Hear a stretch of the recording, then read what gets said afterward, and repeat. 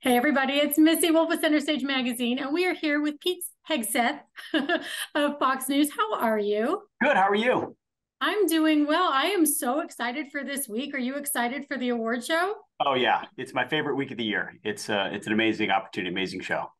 Yeah, this is the fifth annual Patriot Awards, correct? It is. Yep. First time in Nashville, though.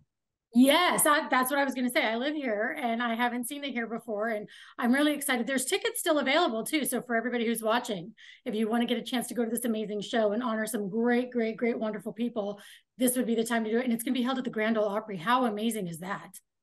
I know. I'm going to pinch myself being up there. I've been to shows there. I mean, it's absolutely iconic and historic. Just being backstage uh, is for some of the rehearsals has been amazing. And yeah, I can't can't wait to be on that stage.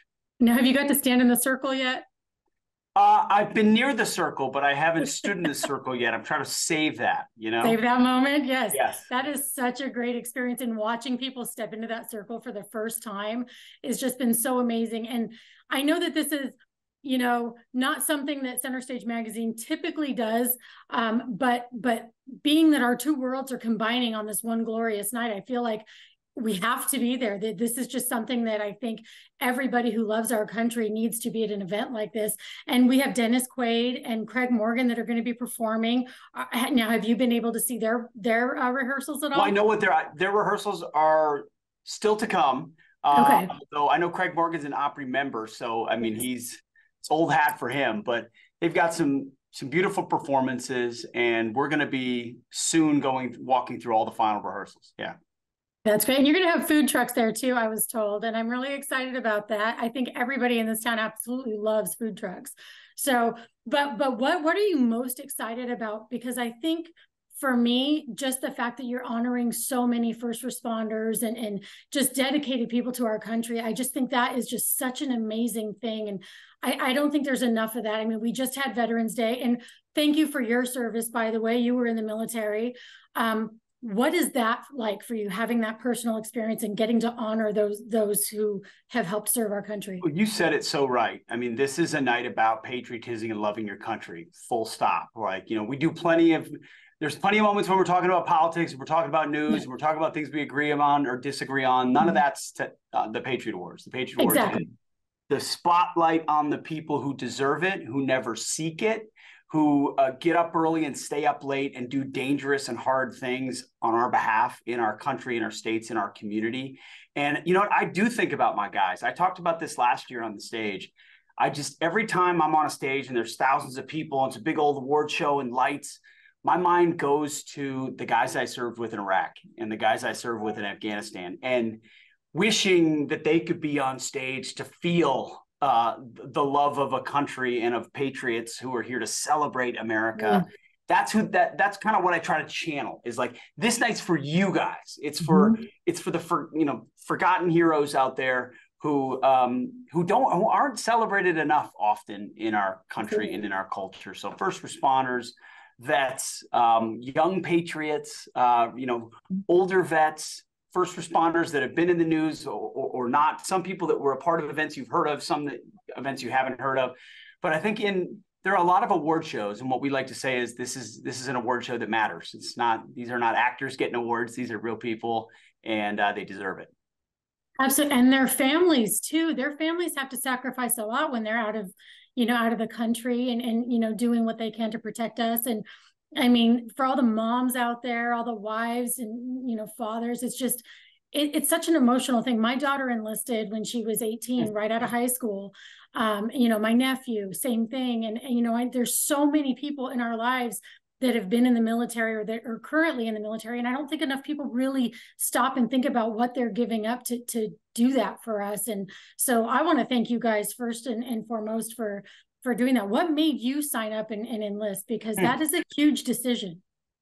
It is. Uh, you know, I look back on it and I don't know that it was one definitive moment, but it was a series of events. I wasn't from a military family, but we would always go to uh, the Memorial Day Parade and Veterans mm-hmm. Day Parade and the Fourth of July down in a, my parents' hometown in southern Minnesota. It's a small farming town.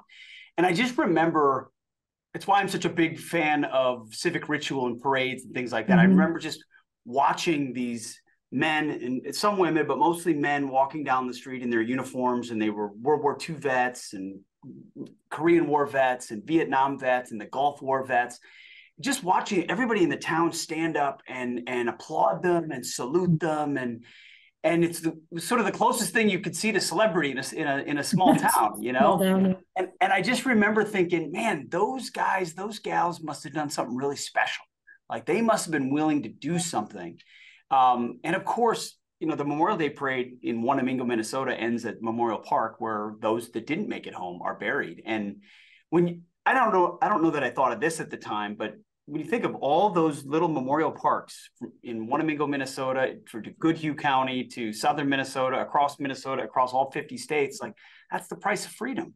And yeah. and and I so I just know as a kid I thought, man, if I'm ever able in a position where I should do that, I I, I should, and that just kind of stuck with me, and I couldn't get rid of it. And so uh, when I went in college, I joined ROTC, and I'm glad I did. I'm glad you did too, and I'm sure your family they're super proud of you. Your kids, you have seven kids. I read. We do, do yeah, have... a bunch of them. They're all going to be there too. It's the first. Oh my gosh! Be at well, the show. God bless your wife for having seven kids. I'm in a blended family. We've got five that's a lot. well, we're in a blended family of seven too, so we're three, three, and one together. So it, okay. that's that's how all we right. them up. All right. Well, that that's amazing. I, I, you know, God bless you all for everything that you've done and everything you continue to do, and for shining a light on these heroes because I think that there's not enough of that in this world. And and personally, one thing I like to tell people is if you ever get the chance to go to Arlington Cemetery, go. It's such a beautiful place. It's an emotional place, but it really just drives home how how much sacrifice is really there in our world for, oh, it, for it us to be able away. to do everything. It in does. fact, we might take our kids this this December. I'm trying to work on the timing of making it work. They do wreaths across America and everything. I, I don't know that it will, but it is our intention. We want to make sure they're old enough that it hits too. Yes. Uh, but just seeing it and then you think, okay, that's it. And then you walk over the next hill and you're like, oh my goodness. And it's just the row after row after row. And and I've I've been to Section 60 many times, which is the the younger, the Iraq and mm-hmm. Afghanistan vet generation, and you start to look down and you see names and guys of the time frames when you were there. I mean, it's it's sobering, and I, and I do think every generation needs to see it and understand it.